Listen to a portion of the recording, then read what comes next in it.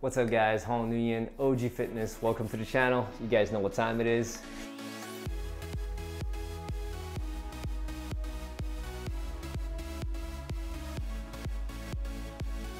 Okay, so in this video, we're gonna talk about uh, freestyle judo versus judo. Okay, so I got this question from a gentleman called Noel Bonilla. So let me just read out the, the email for you guys. Hey OG, first of first off, just wanted to uh, commend you for all the work you have done uh, thus far in terms of fitness and martial arts uh, videos you have created on YouTube. Uh, your videos have inspired me to not only take up martial arts again, but to get into judo specifically. As a person interested in in and new to judo, uh, can you make a video of the differences between freestyle judo and regular judo? Also, which one is recommended for a person with no grappling experience? I am trying to decide which type of judo is best under my circumstances, since there are a couple of judo schools to choose. Uh, to choose.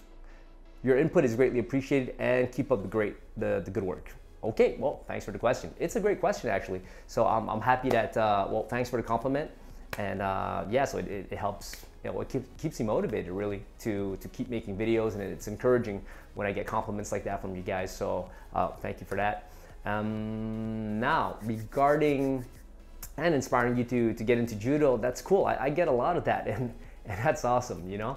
Uh, and still, even, even though like I talk a lot about judo and because that's what I do and grappling and all that, I mean, there's no best thing, right? Like there are limitations to every art, and you're gonna have to patch it up with other uh, martial arts or combat uh, sports to become a complete grappler or um, martial artist, so to speak. Okay. Mm, now, with that said, let me just review some of the questions because there was a couple of things that I wanted to touch on. okay, so when you say freestyle judo, we're talking about old school judo where you could grab the legs, right? So, because new judo, new judo currently, you can't grab the legs, and um, they changed the rules. So, which one would I choose between the two? I would choose, it, once again, it depends what your goal is. And, but let's say, and what I mean by that is, okay, self-defense. If your main thing was self-defense, I like freestyle judo better because it's more complete in the sense that you could grab the legs, right? It's more realistic in, in terms of um, um, or what you could actually do, you know, because like that's the other half of the body. if you can only play with the, the upper half, but you can't touch, you know, so it's kind of limited. The new judo is limited in that regards. Mm, whereas uh, free free judo, freestyle judo, meaning the old version where you could just grab uh, grab the legs and all, uh, you could double A, you could do all of that good stuff. Then yeah, for self defense purposes, I would choose that one. Um, now with that said, okay, if you're just practicing a martial art because you enjoy it, you, uh, you know, you want to use it as a self-development tool. And I believe that all martial arts are there for you to build yourself up. First, to develop self-mastery and of course self-development through physical uh, uh, strength, you know, developing physical strength, develop, developing mental fortitude, and you know having all that good stuff that comes along with it discipline respect honor and so on you know like pushing through when things are tough and, and, and so on and so on so it's, it's a beautiful thing and that's what martial arts is to me it's a way to self-mastery if that makes any sense to learn how to control your emotions your thoughts and of course to control your body and to develop yourself like uh, like strength of character and strength of body so now if it's more in that sense uh, either or Either or is good. Now, now you said you had a couple of schools like within the area. This is what I would do. Go to all of them. All of them, try them all out. And, and not just necessarily uh, try them all out like um, uh, for one class, okay? Uh, you could go there and I would try out each one for like a month or maybe two weeks or something like that. Like whatever's possible. Like you, you could talk to the coach and tell them, hey, you know, looking for a club, is there, uh, you know, well, most clubs I think they, they, let you like try for like, you know, one class for sure. But I mean, you, you don't, sometimes you might not really get a good enough sense, I feel, if you just do one class.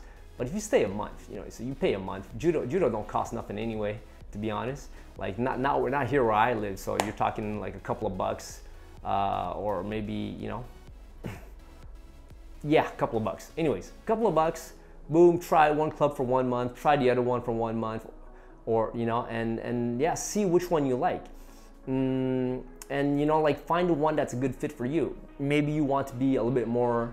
You want a club that's more competitive, or maybe you want a club that's uh, that's more leisure, right? And then then that so so that's something to consider. And also, if you go to a club, well, you're gonna have to see how they train and you, like the vibe of the whole place, you know. And of course, the distance. Like if if a club is too far, you have to think about stickability factor, you know. And and that like I remember hearing this in one of Shintaro Higashi's videos. He's also uh, a judoka, but I mean, he's a very accomplished judoka, not like me who started when he was 30, when he was 36 and just going at it now. Uh, so it's a, it's a completely different thing. But he was talking about stickability factor. Like if, if a club is like an hour away from you, are you like, you, you gotta be honest with yourself and be a little bit realistic. Like, are you really willing to go an hour to that club? I mean, unless it's a club that's like amazing, amazing, and this is a club where uh, you know, like the coaches are amazing, the train, the training is amazing, the uh, you know, like everybody at the club is amazing, and and it's just the right environment for you, and, and you want to compete and all that. And okay, I can understand, but. So that's something to take into consideration. But if not, I mean, if there's two clubs that are more or less the same, and you know, and you like both of them, pick the one that's obviously closer because at least you're gonna stick to it right? Because, but only you know that. Because I, I say that, but when I was younger, I would travel. Man, I used to take the bus for like an hour and a half just to go to Taekwondo practice, man. And I would go like, you know, how many times did I go? Holy crap! Like at least I, I think I was going there like pretty much uh, free, free to three times, free four or five times a week, something like that. You know, so like an hour and a half to go, an hour and an hour and a half to get back. So that's three hours of traveling time a day just to go train. So you know, it, it depends on on like the circumstances of your your life, right? I was younger then. I was like what, uh, 16? Yeah, 16 to 19. I was doing my taekwondo thing. So I didn't care. I, had nothing else to do. I mean, I, I was supposed to study. I wasn't very good at that, to be honest. not because not because I'm dumb. I'm not that smart, but I mean, I, I just I just didn't. I just wanted to to fight. You know, honestly. Okay, and uh, yeah, so that's something that you should take into consideration. Now, Okay, and that's another thing too.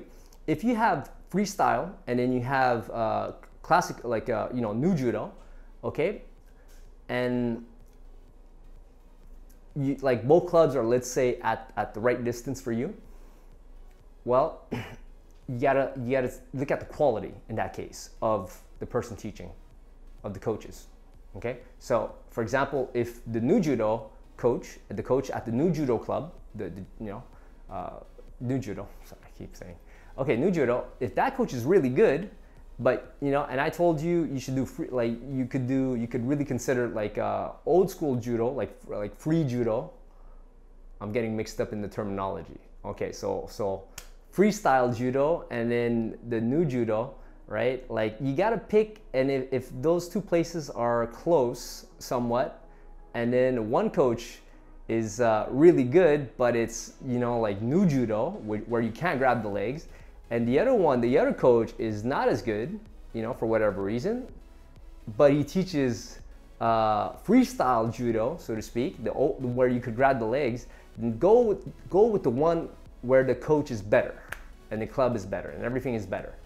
Okay, so I hope that makes sense, guys. Listen. I think this video has been going on a little, little bit too long. I don't want to go on too, too much and just, you know, because uh, I could go on for hours talking, right, about this kind of stuff. And sometimes it's not very coherent, and uh, but you know that's kind of me. I'll try to try to fix that over time. So that's it, guys. Let me know in the comments down below what you think. Uh, like and of course share the video.